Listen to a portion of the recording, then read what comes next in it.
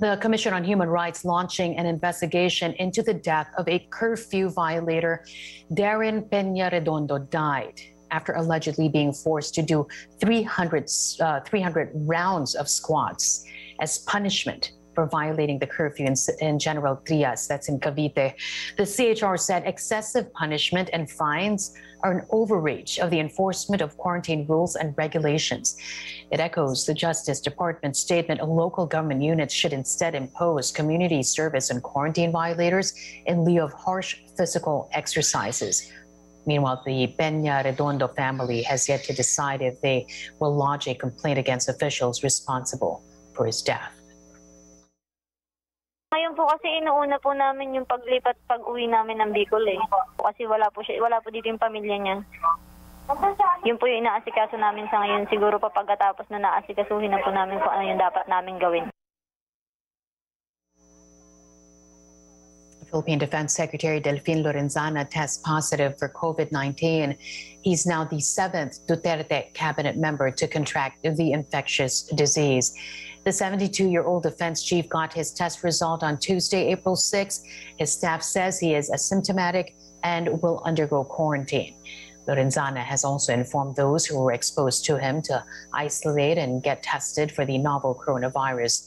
Other members of President Duterte's cabinet who were infected with COVID 19 are Communications Secretary Martin Andanar, Presidential Spokesperson Harry Roque, Education Secretary Leonor Briones, Public Works Secretary Mark Villar, Trade Chief Ramon Lopez, and Interior Secretary Eduardo Año. The Philippines' vaccine expert panel now recommending the use of Sinovac's COVID 19 vaccine, CoronaVac, on senior citizens as the country's supply of AstraZeneca jabs ran out. The panel's head, Dr. Nina Goliani, make that Gloriani, says the Philippine Food and Drug Administration is expected to make an announcement once it has consolidated clinical trial data on the vaccine.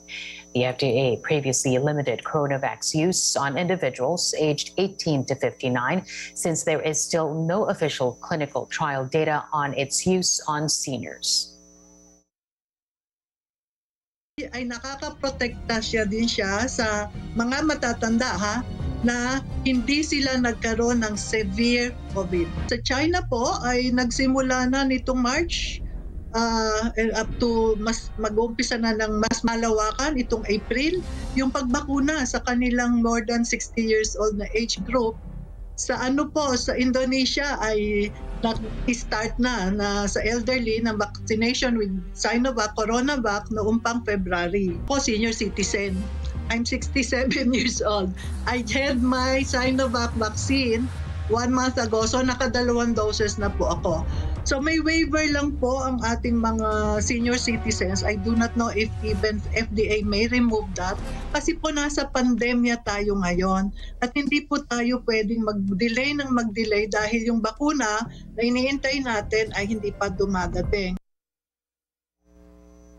The panel also said asymptomatic patients who have recovered from COVID 19 can now receive their vaccine shots immediately after 14 days in isolation.